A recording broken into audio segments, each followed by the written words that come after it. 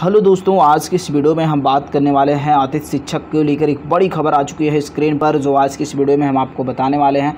नमस्कार, मेरा नाम है भीमा चित्रा और आप देख रहे हैं अपना पसंदीदा चैनल भीमा चित्रा।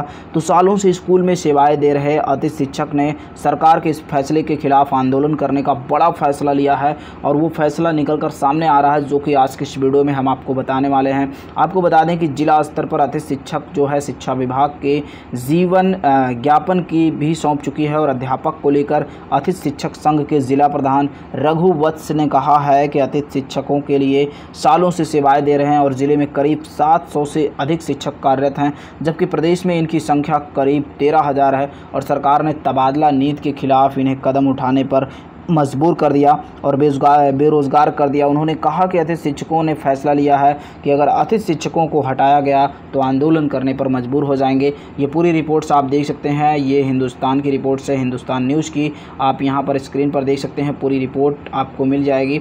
ये पूरी रिपोर्ट आपके लिए है और ये आप अगर बने रहेंगे, चैनल से जुड़े रहेंगे तो पल पल की अपडेट आप पाते रहेंगे। तो फ़िलहाल आज की इस वीडियो में इतना ही था। मिलते हैं आपसे अगली बुलेटिन में। तब तक के लिए नमस्कार। जय हिंद। चैनल को सब्सक्राइब ज़रूर कर लें ताकि अगली खबर आपको मिल सके।